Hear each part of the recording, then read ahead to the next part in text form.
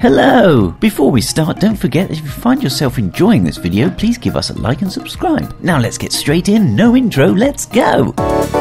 Hey, I said no intro. Number 1 Multi Tool.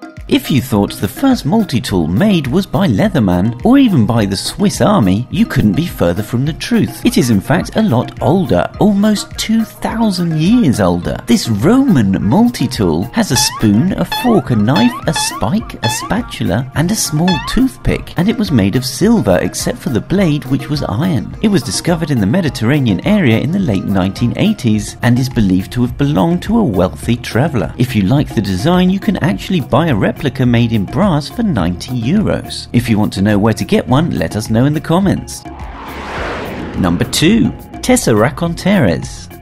When we think of huge ships, we think of oil tankers and aircraft carriers. But huge ships aren't a modern thing. The Tessarakonteres was a massive ship that was built in the 3rd century BC by Ptolemy IV. The ship was a catamaran and was 420 feet long and 57 feet wide. That's about the same size as Noah's Ark, or roughly half the length of the HMS Titanic, and it was made entirely out of wood. It was so big it took 4,000 thousand oarsmen to move it. These oarsmen had to be configured in three separate rows at different heights just to be able to fit them in. The ship could carry the 4,000 oarsmen plus 400 crew members and it could also carry nearly 3,000 soldiers. Number 3. Pump action crossbow. Around 400 BC, a time when most armies were using spears, swords, and shields, the first crossbows were appearing, but the Chinese were using a pump action crossbow. This invention meant that loading time was drastically reduced, and one archer could rapidly fire up to 10 arrows without having to stop to reload. The weapon did have rather a limited range, just 250 feet, so the archers poisoned the arrowheads so just a scratch would kill their adversary. Number 4. Chariot Factory.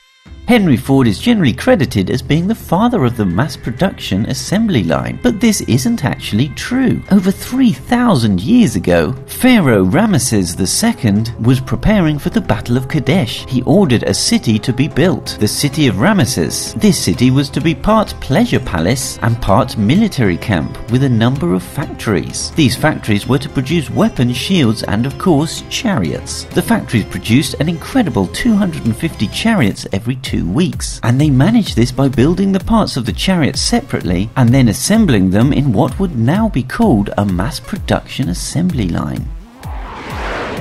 Number 5 Hydraulic Hammer. These hammers are powered by a water wheel that turns a camshaft that has staggered lugs on it. These lugs push down on the hammer's handle, lifting it up. Once the lug passes, the hammer falls. This invention was used in Italy around the 1st century AD for pounding grain and was later used for tanning leather and then also in mining. However, these water powered hammers were actually in use in China sometime beforehand and were used to crush rice for flour. Some Chinese historians say the invention dates back as far as the Zhou dynasty, which is between 1050 to 221 BC. Number 6. Pulleys. Archimedes lived around 200 BC, and without his inventions, we wouldn't be where we are today. He is credited with inventing the lever, but this isn't true. He merely explained how it works. He did, however, invent the block and tackle pulley system. This system enabled heavy loads to be lifted by fewer men. The principle of leverage and his pulley system were key components in his invention, the claw of Archimedes. This claw was used to defend the city of Syracuse. The claw was dropped in the water, and when a ship sailed sailed over it, it was pulled up. The lever and the pulley system allowed relatively few men to pull the ship up out of the water and then let it drop. This caused great damage to the ship and could even sink it. Number 7. Robots.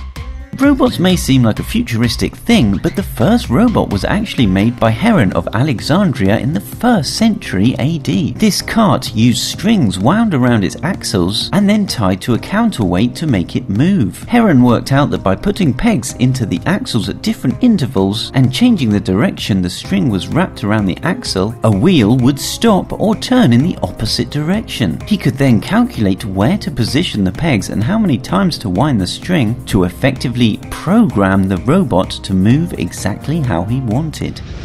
If you enjoyed this video, you are now obliged to give us a like and comment below. Failure to do so could be disastrous to the world as we know it. Thanks.